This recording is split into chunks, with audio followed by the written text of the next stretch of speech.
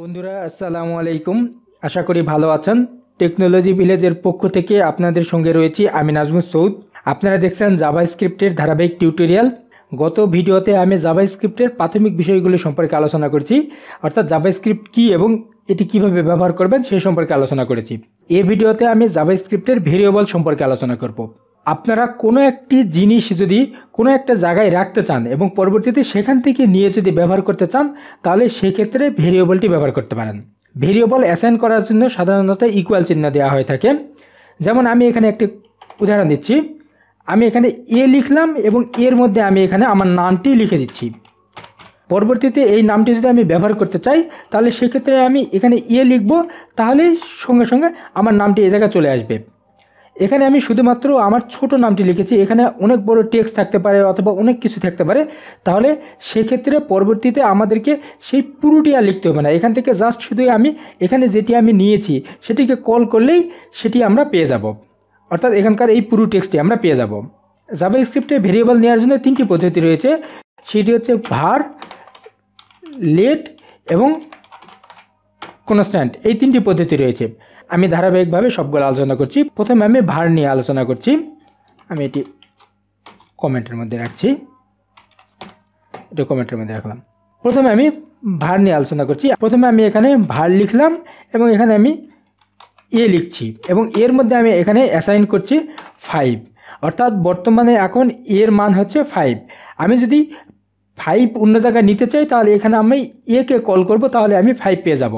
যেমন এখানে আমি document get element by ID demo নিয়েছি, অর্থাৎ এই ড্যামোর মধ্যে এখানে আমি যা কিছু লিখব তা এখানে পাবলিশড হবে। তাহলে সেক্ষেত্রে এখানে আমি এ লিখছি। যেহেতু এখানে আমি এ একটি ভেরিয়েবল নিয়েছি এবং এর মধ্যে ফাইভ অ্যাসাইন করেছি, আমি এটি যদি রিলোড করি, তাহলে কি হয় দেখুন, আমি গুগল ক্রমে গেলাম, এখানে আমি রিফ্রেশ করলাম। তাহলে দেখুন এখানে ফাইভ শো করছে।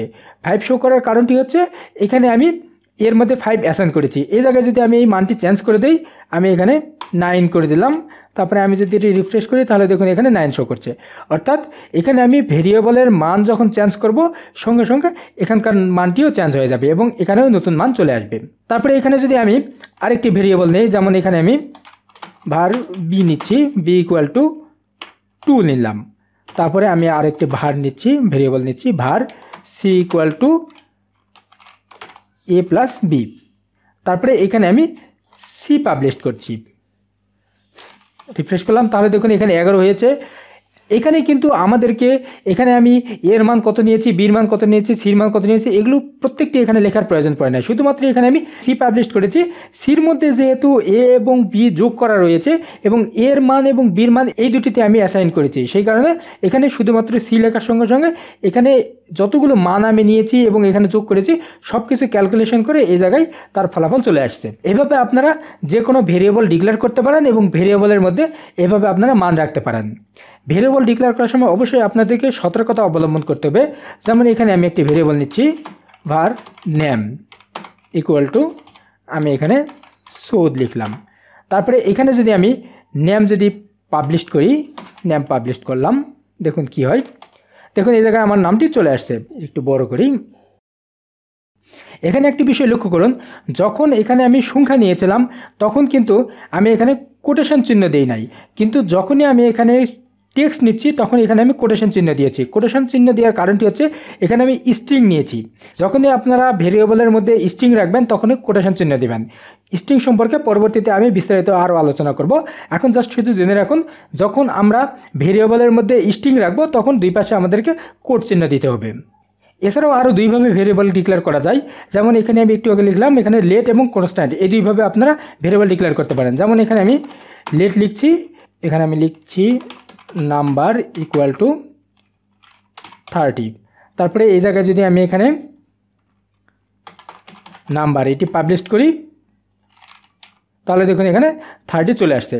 তারপরে অনুরূপভাবে আপনারা যদি কনস্ট্যান্ট এভাবে ভেরিয়েবল যদি অ্যাসাইন করতে চান, সেটিও করতে পারবেন। আমি মাই নাম লিখলাম মাই নাম নাজমুস সৌদ এবং এই জায়গায় আমি মাই নাম এটা আমি পাবলিশ করছি। তাহলে দেখুন, এটিও এখানে পাবলিশ হয়েছে, অর্থাৎ এটির কাজও এখানে হয়েছে। এই তিনভাবে আপনারা ভেরিয়েবল ডিক্লেয়ার করতে পারেন, কিন্তু এই তিনটির মধ্যে কিছু পার্থক্য রয়েছে। যেমন আপনারা এই ভার দিয়ে যে ভেরিয়েবল ডিক্লেয়ার করছেন, এটি আপনারা যে কোনো সময় ডিক্লেয়ার করতে পারেন যে কোনো সময় অ্যাসাইন করতে পারেন এবং এটির মান পরিবর্তন করতে পারেন। কিন্তু আপনারা এই যে লেটের মাধ্যমে যদি ভেরিয়েবল ডিক্লেয়ার করেন, তাহলে সেক্ষেত্রে অবশ্যই আপনাকে আগে ডিক্লেয়ার করতে হবে এবং পরবর্তীতে সেটি ব্যবহার করতে হবে। আপনি আগে ব্যবহার করে পরে ডিক্লেয়ার করতে পারবেন না। আবার এই কনস্ট্যান্টের মাধ্যমে যদি আপনি ভেরিয়েবল প্রকাশ করেন, তাহলে সেই ক্ষেত্রে অবশ্যই আপনাদেরকে এটি আগে ডিক্লেয়ার করতে হবে এবং আপনি এটি রিঅ্যাসাইন করতে পারবেন না। অর্থাৎ আপনি যদি একবার কনস্ট্যান্টের মাধ্যমে ভেরিয়েবল ডিক্লেয়ার করেন, তাহলে সেক্ষেত্রে আপনি নতুন করে আর মান দিতে পারবেন না। অর্থাৎ একবার যে মানটি দিয়েছেন, সেই মানটি আপনাদেরকে পরবর্তীতে ব্যবহার করতে হবে। এই ভিডিওতে আপনারা জাভা স্ক্রিপ্টের ভেরিয়েবল সম্পর্কে জানলেন। আশা করি ভিডিওটি আপনার বাস্তব জীবনে কাজে লাগবে। পরবর্তী ভিডিওতে আমি জাভা স্ক্রিপ্টের অপারেটর সম্পর্কে আলোচনা করব। পরবর্তী ভিডিও দেখার আমন্ত্রণ জানিয়ে শেষ করছি। ধন্যবাদ।